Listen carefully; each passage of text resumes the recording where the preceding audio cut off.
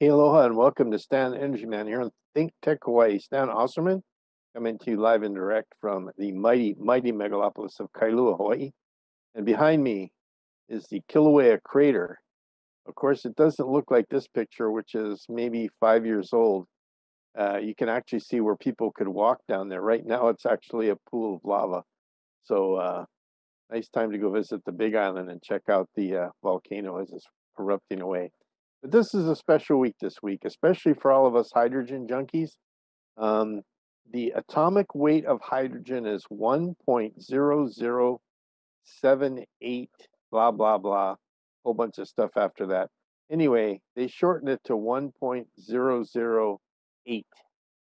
So that's like 10 8, which is like October 8th. So this week is Hydrogen Week, and the 8th of the the month is Hydrogen Day. So happy birthday all you hydrogen heads out there um, from Stan Energy Man. And to celebrate today, um, I've been working with Hyundai because they, they came out with a really, really awesome video. It's unfortunately too long for my show. It's actually 36 minutes long. So I, I'm so anxious to show it that I had to do something. So I I didn't. I'm I'm an artist. I, I get real sensitive when people play with my art, but I lopped off the first 16 minutes of this show of this video, and we're only going to see the last 20 something minutes of the video, and the first 16 minutes we'll show next week on Stan the Energy Man. But I'd also encourage you if you like this video and you want to get a sneak of what the first part was, which is really awesome. I didn't cut it because it was junk. I cut it because it's actually good enough on its own to really be exciting. But today's video focuses more on the technical logic and the reasoning that a big company like Hyundai, which is 120,000 plus employees worldwide, would take such a huge step as to commit to hydrogen technology and to commit to such an ambitious goal of seeing hydrogen be the world's um, clean energy source for transportation and even for the grid. They even talk a little bit about grid in here. So without further ado, look for the the video Hydrogen Wave, W-A-V-E, like in surfing wave, Hydrogen Wave, put out by Hyundai.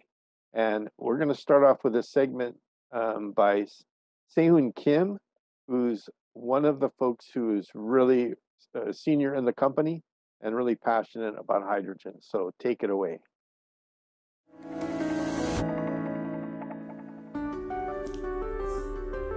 Good morning, afternoon, and evening, everyone. My name is Sehun Kim, Executive Vice President and Head of Fuel Cell Center at Hyundai Motor Group. I'm honored to speak at this very special event.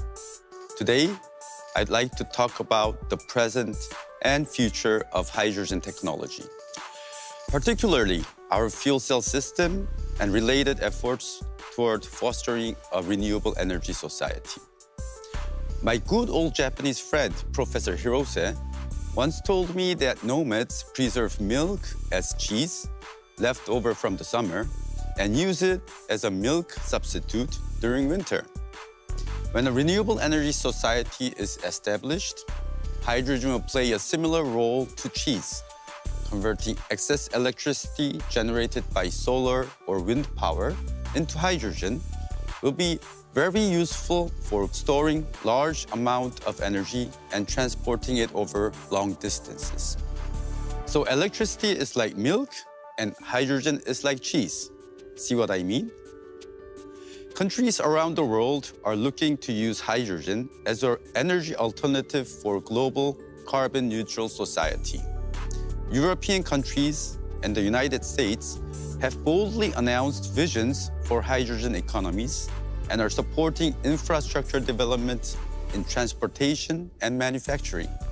But many people still wonder about hydrogen technology and are skeptical if it could be really used in everyday life. Today, let me show you that fuel cell is a proven technology that can deliver the benefits of hydrogen to people around the world in various fields. Basically, a fuel cell is a power generator like an engine. It differs from a battery, which stores electricity. A fuel cell system consists of a fuel cell stack that generates electricity, a hydrogen supply system, an air supply system, and a thermal management system. It generates power by combining hydrogen and oxygen, similar to the engine of an internal combustion vehicle, but without the carbon emissions. Unlike a battery that passively stores energy, a fuel cell system produces energy through chemical reactions and operates as long as hydrogen fuel is supplied. The science is simple. Fuel cell is just a reverse reaction of water electrolysis that many of you learned in school. As recently as 15 years ago, many people still had doubts about hydrogen fuel cell technology. Its success depended on miracles in four areas hydrogen production, hydrogen storage, fuel cell technology, and infrastructure. At that time, I fully agreed that resolving these four challenges would not be easy. However, since then, Hyundai Motor Group has undertaken the challenges and hasn't given up. Today, Clean hydrogen production is one of the most promising means for successfully achieving the European Green Deal. And gigawatt-scale projects have already been announced. Recently, the EU and US announced their plans to support the establishment of hydrogen refueling infrastructure. At least for long-haul commercial trucks, there is consensus that hydrogen and fuel cells will offer the best alternative to diesel powertrains. We are now at the point where we can confidently show you our vision for realizing a global hydrogen society. The core competitiveness of fuel cell technology is comprised of cost and durability. The most important part for cost reduction is the stack. There are around 400 cells combined in a stack and the cost of this part accounts for the largest portion. The structure of a fuel cell is shown in the figure. The cell consists of two bipolar plates, which provide flow channels for hydrogen and oxygen, and support the structure of the stack. Two gas diffusion layers, and a membrane electrode assembly, which is called MEA. MEA forms the core of a fuel cell and is a key component that generates electricity by causing a chemical reaction between hydrogen and oxygen. Reducing the cost of these components is the key to cost competitiveness. In the case of bipolar plates, we have reduced the price by replacing the graphite materials to stainless steel. There are worries that stainless steel would corrode and would not last long in the acidic fuel cell environment. But after more than 10 years of development, we are successfully using stainless steel, even without special coating for cathode bipolar plates. I still hear people saying that fuel cells are expensive because they require a large amount of platinum. That was true 10 years ago. But actually, platinum is not the major cost factor now and we are steadily reducing the amount of platinum used as a catalyst. Let me show you how the cost of fuel cell system has decreased. In the past, the cost of a fuel cell vehicle was extremely expensive and was notoriously called a million dollar car. For example, the cost of a fuel cell system applied to a prototype vehicle in early 2003 was triple the price of my house in Seoul. However, in 2006, the cost was reduced by half. The cost of the first generation fuel cell system installed in the first mass-produced Tucson FCEV in 2013 was reduced to about 10% of the first model developed 10 years before. As you can see in the graph, fuel cell costs have been reduced by nearly 98% over the past two decades.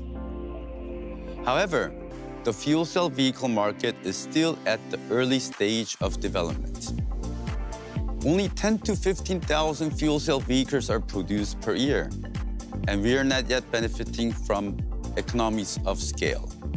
In comparison, there are 4 to 5 million EVs and nearly 100 million ICE vehicles produced per year. So we still have work to do. Our goal is to achieve cost competitiveness comparable to that of EV batteries by 2030. I also want to point out that durability improvements are progressing at a fast pace. Durability of a fuel cell system depends on various chemical conditions, which makes durability more difficult to ensure.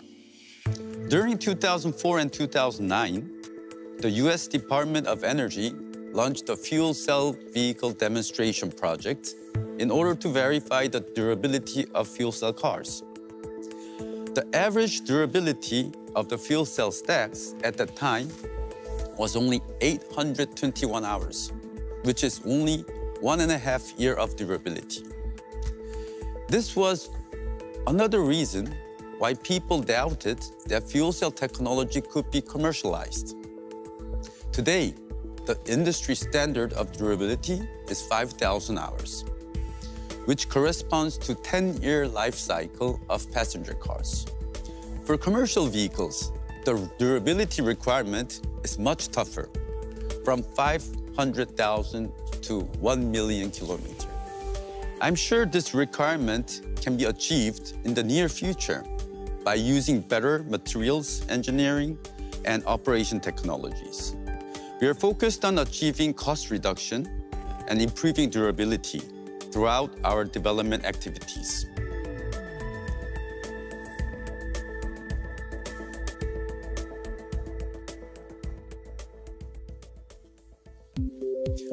Today, I'm going to share details about the next generation fuel cell system that Hyundai Motor Group will launch in the near future. It's a third generation system under development to succeed Nexo's current system. The one on the left is the 100 kilowatt class system, and the one on the right is a 200 kilowatt class system. Compared to Nexo's system, the 100 kilowatt version is significantly smaller, as we reduced its volume by 30%, which ultimately improves vehicle packaging. Compared to Nexo's system, the 200 kilowatt version is almost the same size, but the twice the output. This version was developed for commercial trucks. By using two systems per truck, we can provide around 350 kilowatt, which is equivalent to the power of current diesel engines. We have arranged the first and second generation systems here for your reference. It is easy to see the difference. In 2013, it was about this size. We had difficulty putting this system in the vehicle, as you can imagine.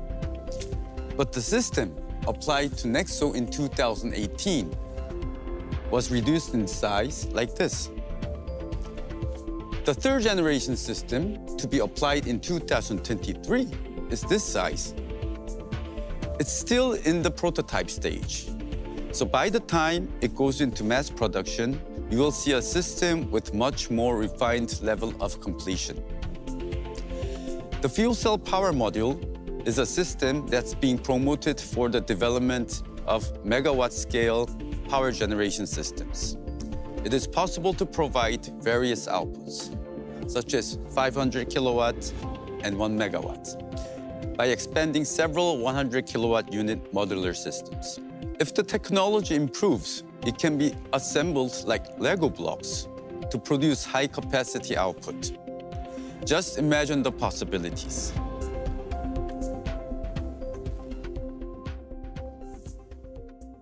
Some people say that replacing conventional power system with fuel cell is easy, but they are wrong. Other people say it's impossible, but they are also wrong. It's very challenging demanding us to exert unprecedented efforts. But we are confident that it's possible. And we, Hyundai, will pave the way for the global hydrogen economy with our fuel cells powered by H2. Thank you for your interest and support. Now, let's hear from Sang-yup about the design of future hydrogen mobility.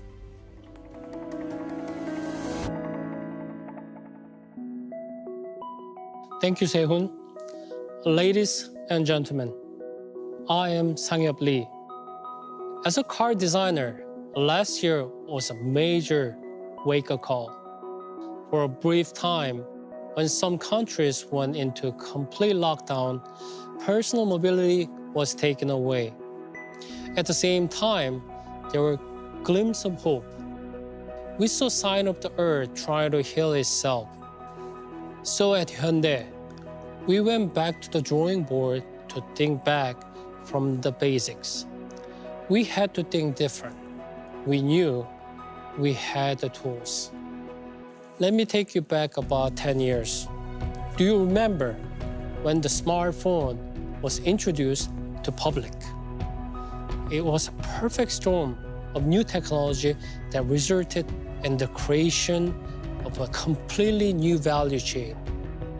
What used to be just a phone is now a highly emotional product with great design, immaculate sound quality, endless media you can stream on the go. A completely new value chain has emerged around it. Do you remember the word telephone? When was the last time you used that word? At Hyundai, the mobility isn't limited to people. We do cargo. Incredible volumes of cargo are transported in trailers, in trains, and in ships. This sounds like a distant industry, but it is actually closer than you may think. That package you order, the brand new car you were waiting for, they are transported to your front door through a seamless worldwide logistics system. Due to COVID-19, this system was crippled by inefficiencies last year. It also shed light on the much needed updates to an archaic logistics system.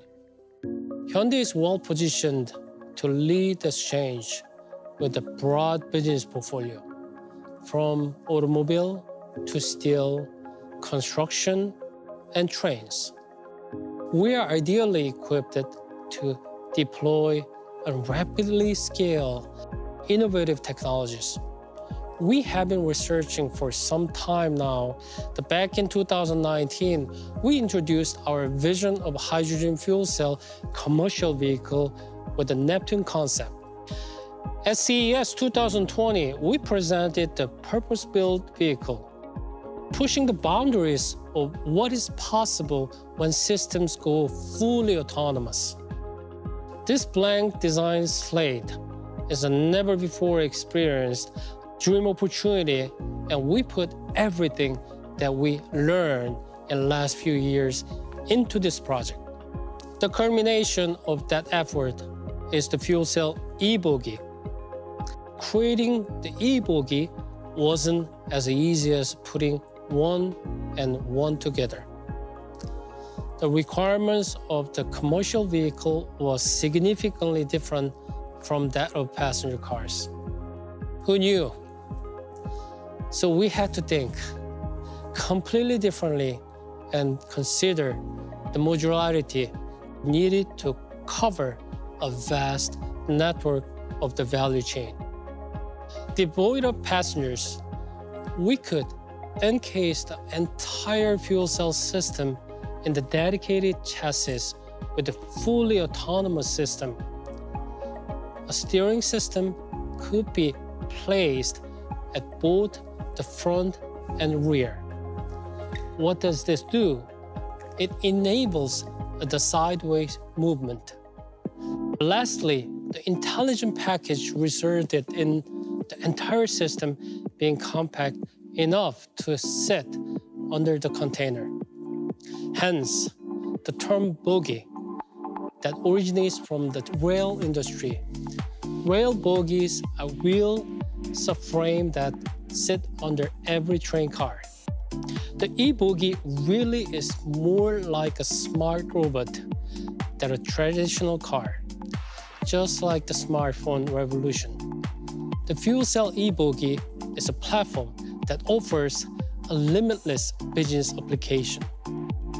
Large and heavy containers are limited by their size and the space they require to move. But with two e-bogies in a double bogie configuration under a container, they can articulate movement from beneath. It helps them minimize the turning radius or to slide sideways into a tight spot.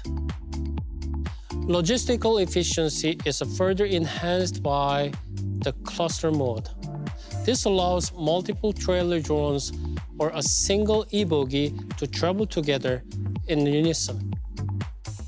In what? It is an almost train-like configuration. It is a true multi-purpose platform that can be adapted to an even wider value chain. Container transportation, port site logistics, airport operation, construction, fire and rescue. Ladies and gentlemen, fuel cells, trucks, trailers, and robots. All these businesses can now be supported by a single platform.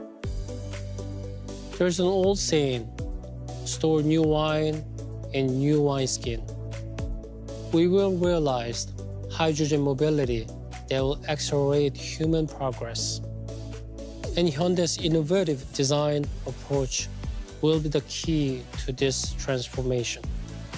Thank you for your time. Now to wrap up our presentation today, let's hear once again from our leader, Chairman Chung.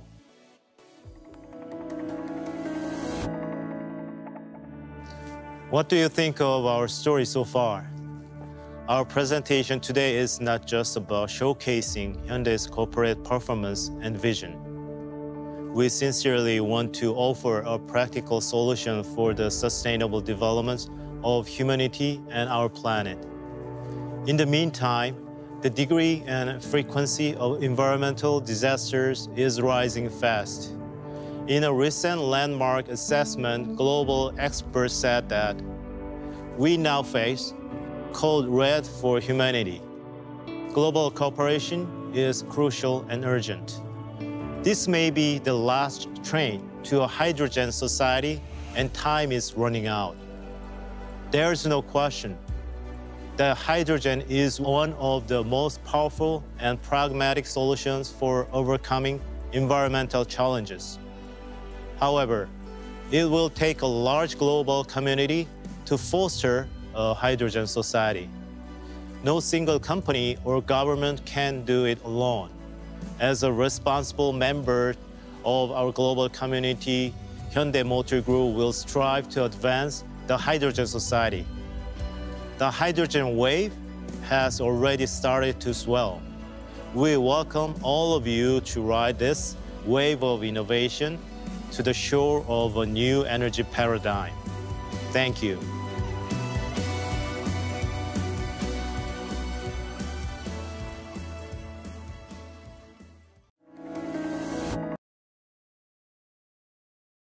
Really like that. Um, like I say, we'll we'll have the first 16 minutes, but if you just can't wait, go online, look up hydrogen wave, and watch the whole 36 minute video. It actually starts off with the chairman in, uh, showing some of the innovations. The main point of today's show was to celebrate Hydrogen Day by saying, here's another huge company, uh, automotive manuf- manufacturer, but like they said, they also do construction and they do logistics.